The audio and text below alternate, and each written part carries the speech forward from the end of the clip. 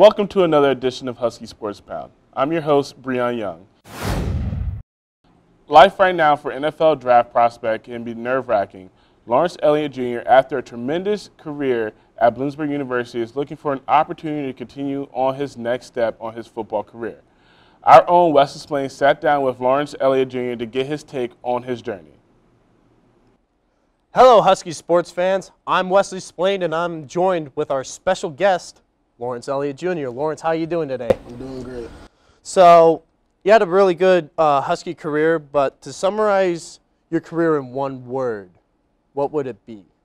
There's a, there's a lot of words I can definitely use. Um, one that, that sticks out for my good, for my personality and playing the game, I think, is relentless.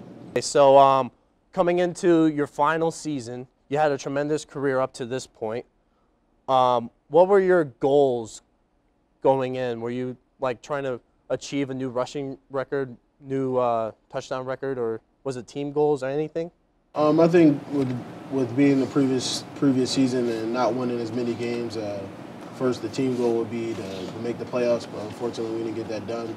Uh, individually, uh, I think I strive to to to go after one of the goals that I wanted to do, and that was to lead the country in touchdowns or yardage.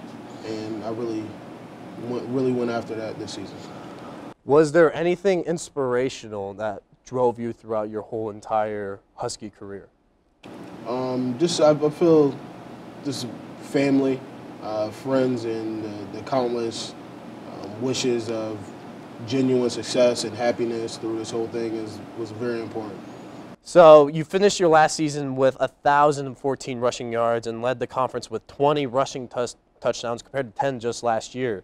So um, was there anything that helped you um, get those 20 um, rushing touchdowns? Um, I think putting more more hours in training and just fixing my, my running technique. It had some hitches, and I, I felt that through my three years of playing in my senior year, I made sure that – I was able to have those home run plays. So you had a lot of accolades. You have the 2015-2016 All-PSAC East first team.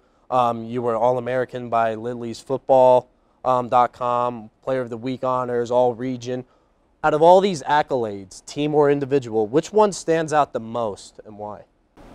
Um, I would say, I would say the preseason one, um, preseason All-American.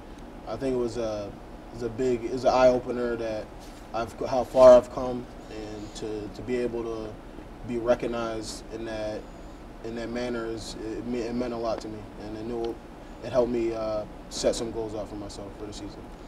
What was your favorite game this year, performance-wise or just adrenaline-wise? Um, I would have to say um, IUP. IUP was uh, the last team that I would eventually play play against in the PSAC. I played against all the teams, and they were the last one uh, that I had to play in my career. And I went out there and it was a big shock because they're very good players and very good team. And was, I really enjoyed playing that game.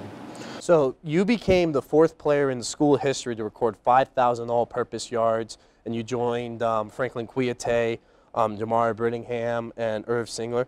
How does that make you feel just um, joining the greats from this school?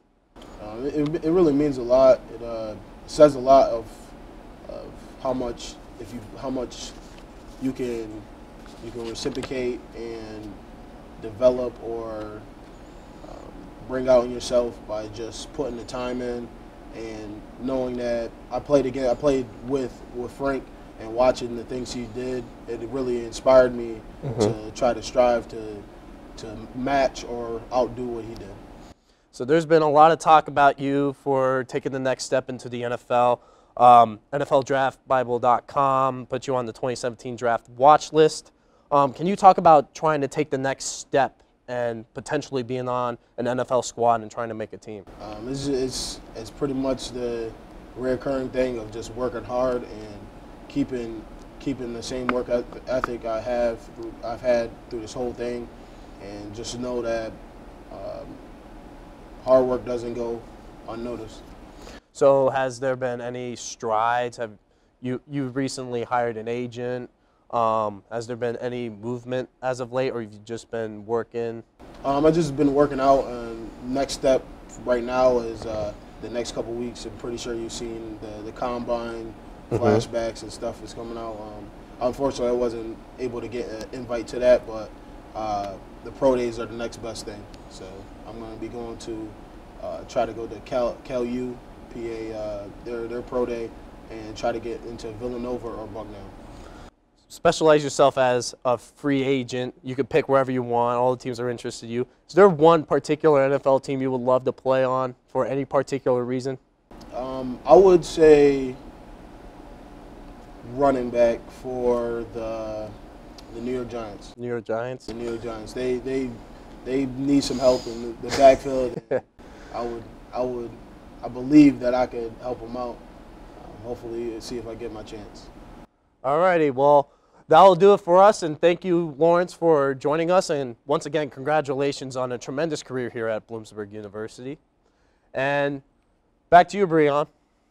That's it for an edition of Husky Sports Bound. I'm Breon.